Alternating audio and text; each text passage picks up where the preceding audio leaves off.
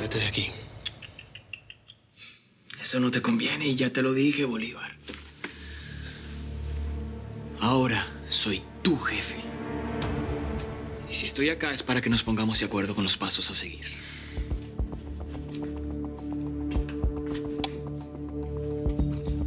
¿No puedes esperar hasta mañana? Necesitaba que fuera hoy. Pues yo contigo no me voy a poner de acuerdo en nada. Entonces quedas fuera de la investigación.